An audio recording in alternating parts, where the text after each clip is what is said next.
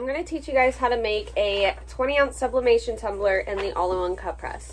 You can find this cup press link below. It'll come with the cheat sheet settings so you guys will know what temperature and time to use per material. So for stainless steel, for glass, and ceramic, it's all different, but that is all on the cheat sheet. So we are doing a stainless steel 20 ounce. You've got um, our sublimation blank and we've got our sublimation print. Your print will be mirrored. Um, so when you sublimate it, it'll be pressed the correct way. All right, so we are going to take our print. It's already cut out. I don't cut the edges off because there's no need to do that. Um, I am going to go ahead and wrap it around. Now, the trick is to keep it so you can still see it, so you can line it up. And make sure that your print wraps all the way around your cup, so whenever you are done taping it, you can have like the freedom to slide it um, to be able to position it where you want it. I always start taping in the middle. I just squeeze really tight and tape it down. I do one at the top, one in the middle, and one at the bottom. That is all the tape you need when you're using an all-in-one cup press and you follow the steps that I do. um, you can do it your own way.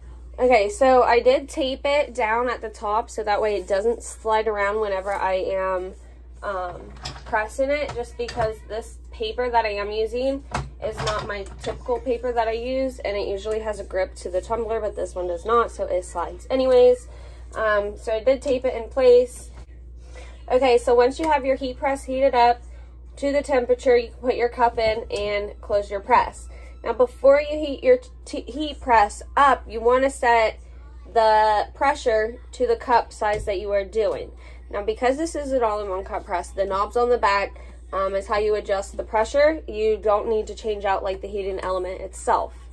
So we're going to give it 60 seconds and then I'm going to show you guys what we do next. While it is pressing, I will say that you need to have good ventilation when you are sublimating um, anything, honestly. Even if you're heat pressing t-shirts, you should always have good ventilation. Um, we're going to rotate this and then we're going to press it again. All right, so the press does have an alarm. It will go off automatically and will shut off once you open it. Um, the next thing I will suggest you guys to do is to pull your tumblers clear out to the end and just press each end for 10 seconds and then rotate it and press again. That'll help you avoid the ghosting.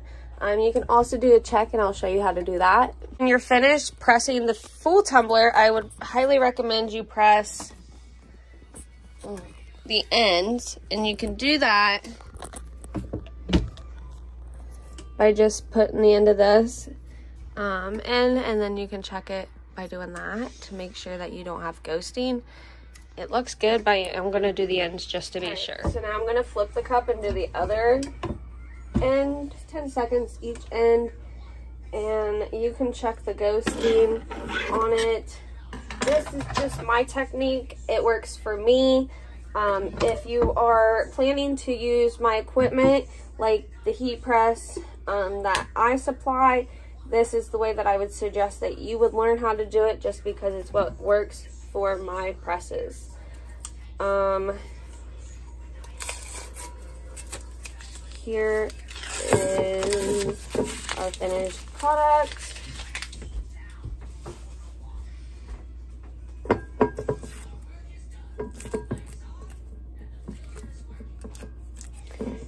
And if you guys want further instructions on how to make these tumblers, you can sign up for our online sublimation tumbler class.